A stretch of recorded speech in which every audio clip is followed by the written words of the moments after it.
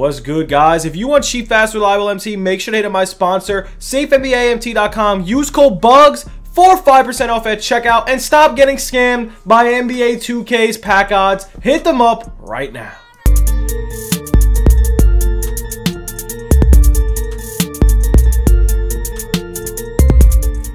What's good YouTube? It's your boy Bugz back on another NBA 2K21 My Team video and guys today we are going over the market, we're going over investments, what you guys should sell, what you guys should buy, all in this one video and yes if you are new to the channel sub it up, comment down below, it would be appreciated. Also guys, if you're interested in any type of trading cards, basketball, football, we are selling some, we're breaking some out on my Instagram live maybe to later tonight.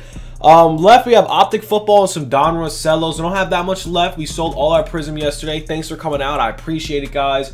Um, we're here to go over the market. And also, if you guys need MT, hit me up. I am buying and selling MT on both Xbox and PS4. All right, so uh, let's go over the market. Um, Kareem Abdul-Jabari is up there, man. He's still up there in value, guys. Um, I still have my Kareem. Right now, the market is up there. It's definitely, definitely up there. We're going to go over the Opals, though. Um, I'm honestly pretty interested to see what's going on in the opals.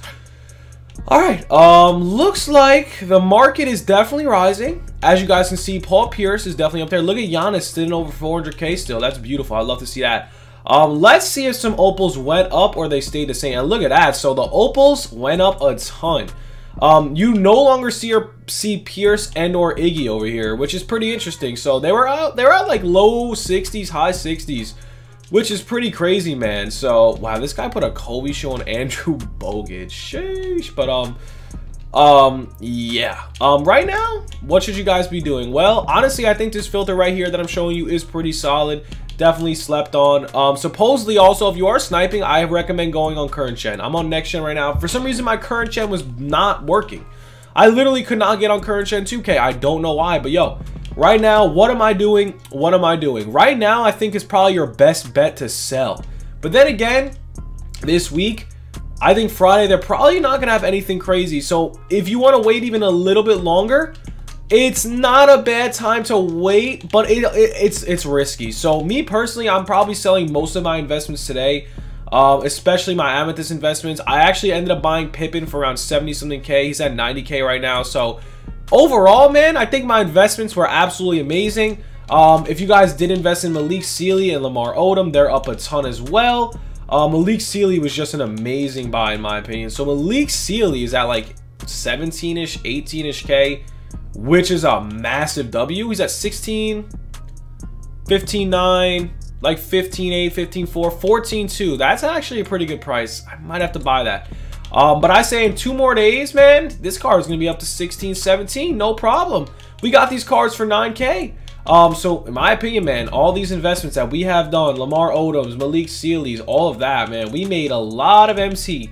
Um, a lot of MC. So, what you guys should be doing right now, consistently check all the amethysts that you have bought and see what you could sell them for because they're honestly, most of them are going up. Wow, I didn't even realize how many Malik Sealy's and all Odoms we had. Give me one more. All right, yeah, we also have two in our collection. So these are some of my investments. I did sell a couple Malik Sealy's for around 15, got them for 9 to 10K. Uh, Lamar Odoms got them for 30, 35K, man. Amazing amounts of MT made, guys. Literally amazing amounts of MT made. Um, we've been on an absolute tear as of recently with the investments. I mean, Lamar Odom, I got him for 32K. The man's at, what, 48? Oh, there's one for 41. I could probably buy that.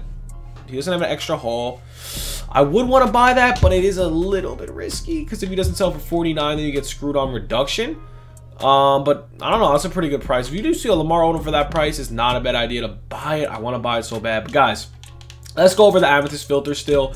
The Amethyst filter super, super inflate, not inflated, deflated right now. Super crashed. Jason Richardson, you cannot go wrong with Jay Rich. Investing in Jay Rich is key. Uh, I mean, just compare his stats to Wade, man. Just compare his stats to Wade. Low-key close. The defense definitely isn't the best, but obviously he's going to dunk on everybody. He's obviously got pretty good speed, and he is taller than Wade. Can't play point guard, though. But, yo, trust me, Jay Rich is definitely an investment you want to go. I think he's only going to go up. Um, he's literally a startable Amethyst with amazing shooting attributes and amazing dunking animation. So Jay Rich is definitely one of the players you want to focus on. Any Amethyst for under 1200 is what you want to buy. Um, right now, the market is definitely deflated. But then again, cards I do not recommend buying is the double take cards. Those packs are super, super easy to get. I highly, highly, highly recommend you do just stay away from double take cards. Double take cards are literally the downfall. You do not want to buy these cards. They are just going to continue to drop. But anything else other than double take, I will definitely recommend buying. Um, also, I want to go over Dominique Wilkins because I know you guys are doing some XP. At least I think. Uh, Dominique Wilkins at 155. He's probably like a 170 card, guys. Probably, try to stay away from Dominique Wilkins. He's just not a good player, in my opinion he's just not good enough in my opinion for the price of one i, can't i can never start a dominique wilkins on my team um, I literally think my Dwyane Wade is better. Even on paper, he's not. I, am telling you right now, this Dominique is just not it. He's not worth the price. You will probably see this guy in a buyout within, I don't know. Uh, he's going to be a buyout like the other Dominique, man. Pink Diamond Dominique took about a month to go to a buyout. He's just not a good card. I just I just really think this card is just not a good card. You should stay away from it. Um, Dark matter wise, man, should you sell your T-Mac? I've been hearing a lot. Should I sell my Kareem? Should I sell my T-Mac? Me personally, I don't see any of these cards dropping in value. I don't see Tracy or Kareem dropping in value for a couple months. Um, we're talking about 99 overalls that are absolutely juiced. Only way, only reason why I know there's going to be another Kareem in the future is because he doesn't have all 99. There's going to be a GOAT Kareem. There's going to be a GOAT T-Mac. That's why they released these Dark Matters early. Um, they released these oh, March, what, 20th, March 21st, whatever. Um, so they released these kind of early. And it's because they're obviously going to drop GOATed cards. They're going to drop GOAT cards. This is only radioactive. This is a set. They literally released Leap Year T-Mac around Leap Year. Um, was it late February? So these cards are nothing. Same with this MJ. This MJ is insane, obviously, but they, he's not all 99. He's not. He pretty much is all 99. But they're going to release a GOAT MJ as well. We're going to see GOAT cards. They're probably going to call something else. But yeah, right now, should you sell any of your Dark Matters, man, if you have Kareem, T-Mac, or MJ, their prices aren't going to go up and down. They're going to stay here for a while. Um, only other Dark Matter cards they could drop, obviously they have to drop another Giannis, they have to drop a LeBron, but right now, Kareem and T-Mac, they're pretty safe. They're probably the best cards in the game. Same with Giannis. If you want to hold your Giannis, Giannis is the best small forward in the game, hands down. He does lack a tiny bit of a three-point shot, but he doesn't. He is an 85-3. Definitely lacks a little bit. A tiny, tiny bit. But if you have Kareem and, and Giannis in the lanes, you're never losing, bro. It's literally impossible to lose with Kareem and Giannis in the lanes. So right now, what should you be doing? I say sniping Amethyst and also Pink Diamond Chivas Filter. That's how you're going to make MT. Um, right now, selling your cards is also a great idea. I just say you could sell all your cards besides Dark Matter. I, I don't think Dark Matter is going to go down for now.